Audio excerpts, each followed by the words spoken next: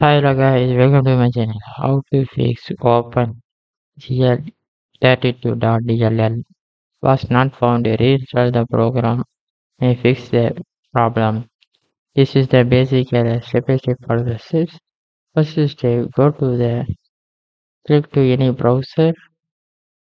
You type in here open gl32.dll download. You click to select. You scroll down for you see the first option for you click to ok.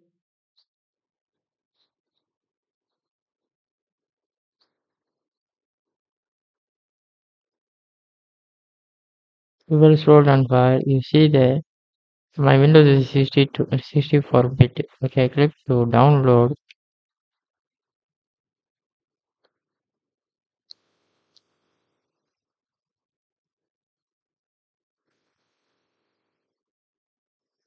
you see the download file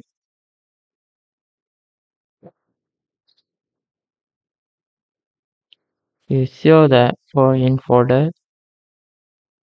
You will right click to export all.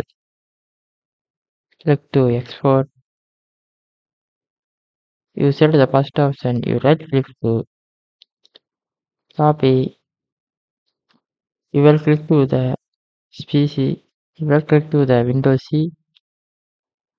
You click the windows. You scroll down far you see the system 32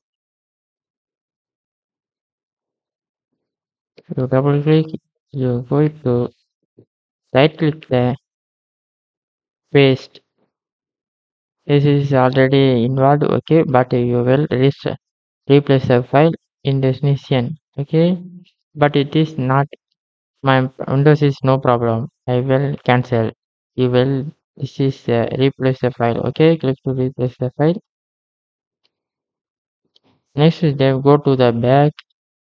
Same time you want to scroll down file. you. See the sys WOW64 you will same type for the paste. Click to continue. Okay. After you will go to the windows icon you click to the restart option you click the restart your pc problem solved. Okay friends thank you for watching